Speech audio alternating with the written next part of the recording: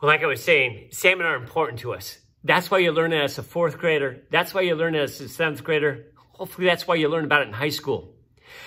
They're important to us for many, many reasons. One reason that they're important to us now is because we found out that they're a huge, they're the uh, food source for the resident orca whales. We love the orca whales. And we know that the orca whale population is going down. They're an endangered species. If something's on the endangered species list, what we're supposed to do is do everything we can to help that species. Well, with the orca whales, we're trying to help out uh, the, the, their species. Our governor, Governor Inslee, last year, he realized this. And what he did is he passed a bill that got passed just like that for $3 billion to help save our orca whales. Wow. Our president couldn't get $5 billion to build a wall. But in a heartbeat, our governor got $3 billion to help save the orca whales. How are they going to save the orca whales? Well, what they're going to do is since they eat salmon, is we're going to have more salmon available for them. So what we have to do is understand why isn't there salmon available to them as much as there was in the past. Uh, what we're doing are some things that we've done to hurt salmon. And the first thing are dams. Now, your grade school answer is, well, dams are bad for salmon because they block a salmon from coming to a spawning ground. That's not right. See, you've been to a dam before. And, and, in a dam, there's a, there's a whole lot of water on this side, and there's not much water there. And we talked about a dam that water goes through here, that goes through that uh, spinning propeller, that turbine. Well, the salmon is going to come up and it's going to hit the concrete wall and go, damn. And then it's going to go, wait a minute. I hear a waterfall. I love waterfalls. See, when they built most dams, what they did is they diverted some of the water. And they diverted some of the water over here, and they created a salmon ladder. A whole bunch of concrete steps. And then the water goes over those concrete steps, and it's uh, supposed to simulate a waterfall. And then the salmon go, I love waterfalls. And then they go jump, jump, jump, jump, jump, jump, jump, and they get to the other side of the dam. So dams are not bad for the adult salmon. The babies, the babies, they're born and they're swimming down. Uh, they hit the concrete wall. They haven't learned how to swear yet, so they go, ouch. And they go, whoa, how am I going to get around this concrete wall? And one of them goes, hey, I feel a current. Follow me.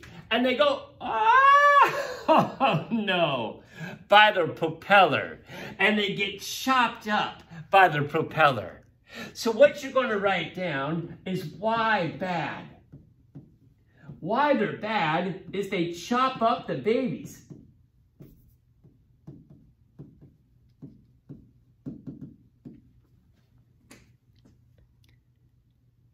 Another reason why it's bad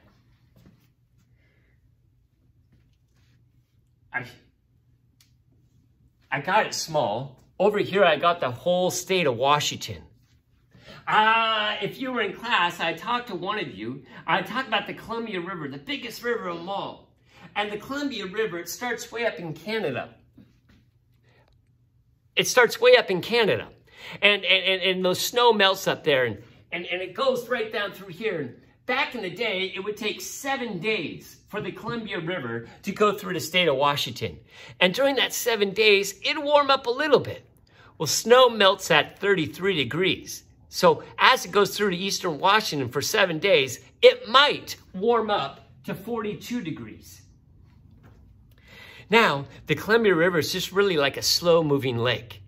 Today, it takes about 90 days for the Columbia River to go through the state of Washington. And as it goes through eastern Washington for 90 days, it warms up. In fact, my favorite bass fishing spot in the summer is right here on the John Day River. It's, it's right at the Columbia. And, and there, the water temperature in the summer is 78 degrees. Whoa, it used to be 42 degrees. Now it's 78 degrees. What does that mean? Oh, use your noggin. Go way back at the beginning of the semester. You're right. The warmer the water temperature, the lower the dissolved oxygen. So there's less oxygen in the water. There's been many cases where there'd be a, river that's been dammed, and as these salmon are going up, there's uh, 10,000 salmon in the water. And there's so little oxygen, they use up all the oxygen in the water. And then all at once, 10,000 salmon, they suffocate and die. No. Why, it why is bad? It slows down the water.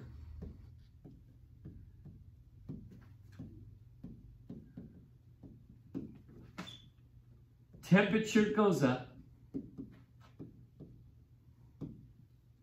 Dissolved oxygen go down. Now, S-O-S. Save our salmon. How are you going to save our salmon?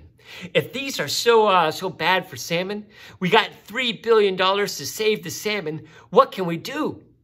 You got it. Let's blow up dams.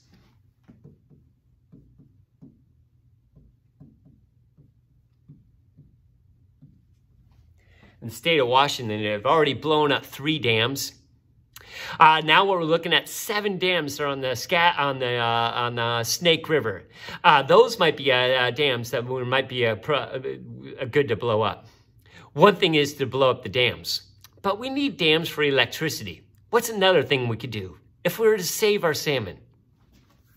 Well, it's the problem for the baby salmon. The baby salmon get killed by the propeller. So what can we do? Good thinking. You were thinking, can I put a net over that propeller to stop the babies from getting in? Oh, then all the babies would get stuck there and then our power would go out. Keep thinking about it. Baby salmon, they swim at the surface. So could you? Great idea. What they do is they pour water over the dam. When the baby salmon are coming through, they pour water over the dam. And then the baby salmon, they go over the dam rather than through the propeller.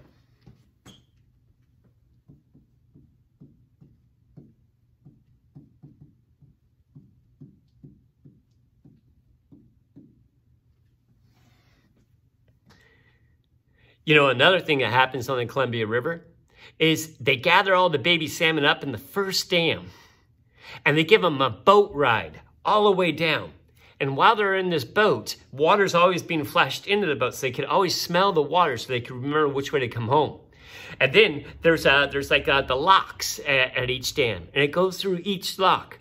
When I go bass fishing down the Columbia River, I see these salmon transport barges all the time. And that's what they're doing, is they're giving the baby salmon a boat ride.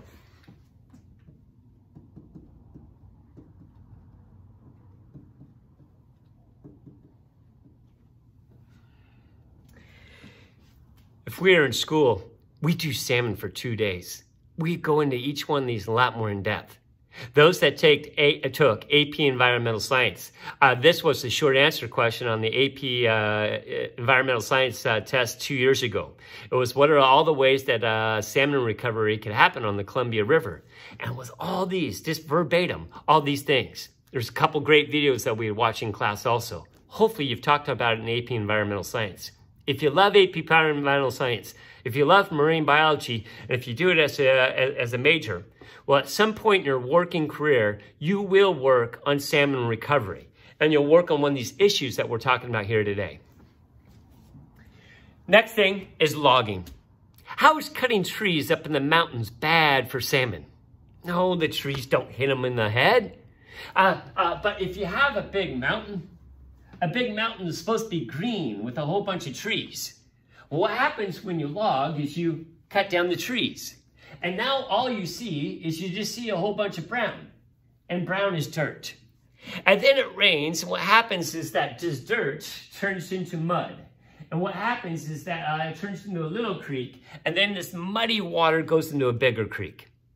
Remember what I said at the beginning of today's lecture? Salmon lay their eggs in rocky nests. It's important to have rockiness because rocks have little holes in between each other rock. And by having little holes in between each other rock, water could go down and go across the egg membrane. And that's how the egg gets oxygen. If mud is, is at the bottom and the salmon lay their eggs in mud, the mud is just going to suffocate the eggs. You thought, you've seen rivers when they flood.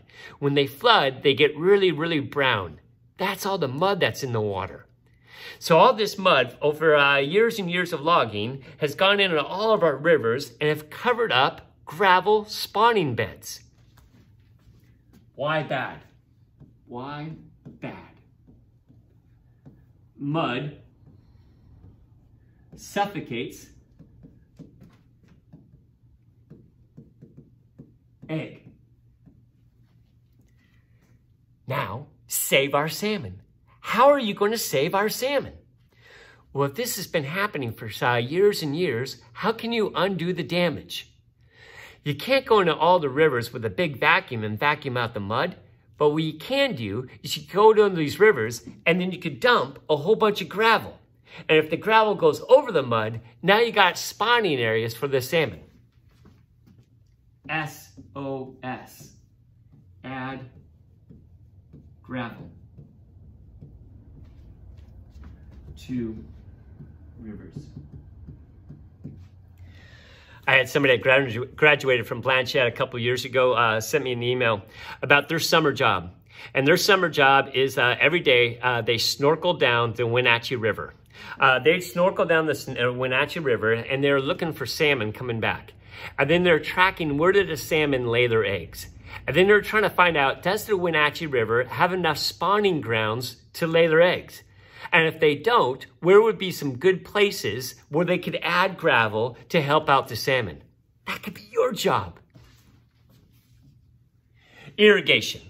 Irrigation is uh, a farmer puts a pipe in the water, uh, pumps out the water and puts it on his fields. I'm going to go fast because I only got a couple minutes left. Why is it bad? Is there's less water in the river.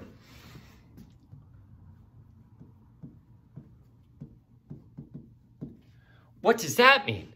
Well, if there's less water, the temperature is going to go higher and the dissolved oxygen is going to go lower. Write it down in your notes. S-O-S. Save our salmon. What are you going to do? One thing is you're going to limit irrigation. A lot of farmers are mad because they can't put water on their crops anymore. As they say, what do you want? Our farms or these stupid fish? We ruled for our stupid fish or a good fish. Another thing you could do, you do is more efficient ways of irrigation. Instead of spraying your, uh, your crops, you're going to use drip irrigation and drip water onto it. That means there's going to be less evaporation. Next thing, straightening the rivers. This here is the same river. This is the Duwamish River that goes right underneath the West Seattle Bridge. This is what it looked like in 1917 that is what it looks like today. See, what happened is there's this small company that started right here called Boeing. And Boeing had a runway. And then they started building bigger uh, airplanes. Bigger airplanes need a bigger runway. So what they did is they convinced the local government to have them straight in the river. And now that they've got a nice straight river, they could have a big long runway. Well, why is that bad for salmon? See, every bend is the water slows down and the energy gets transferred to the bank of the river.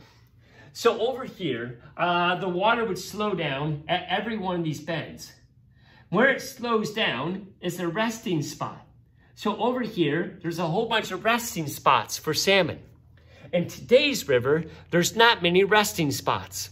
Why bad? No resting spots. Save our salmon. How can you save our salmon? Add resting spots. What they do is they dump in a big boulder. And now the salmon could go swimming up behind the big boulder and then catch their breath. And then they could put a log and the salmon could go swimming up behind the log. All these things are to save our salmon. Guys, in a nutshell, that was high school salmon. You will learn about salmon again in college. When you do marine biology in college, uh, environmental science in college, um, uh, all those things, uh, you'll learn about salmon because it's going to be an important part of your career. Uh, we got a test next class. I got to end this uh, video right now.